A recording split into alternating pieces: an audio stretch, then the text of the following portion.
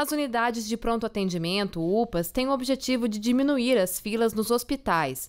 Elas funcionam 24 horas por dia, 7 dias por semana e podem resolver boa parte das urgências e emergências.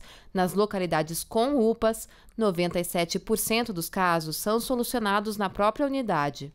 É muito importante que, né, que na emergência, que a pessoa que não tem outro, outro recurso corre a UPA.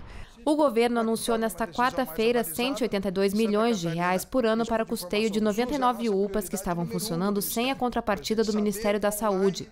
Com esses recursos, todas as unidades que operavam sem essa compensação passarão a ter apoio mensal.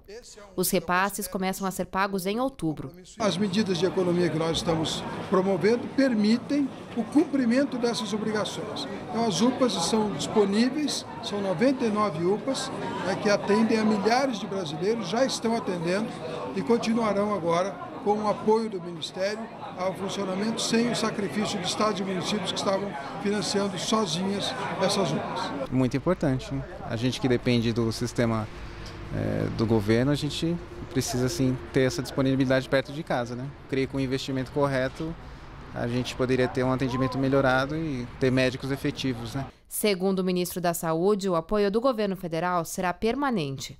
São permanentes todos os credenciamentos que nós fazemos são para o sempre.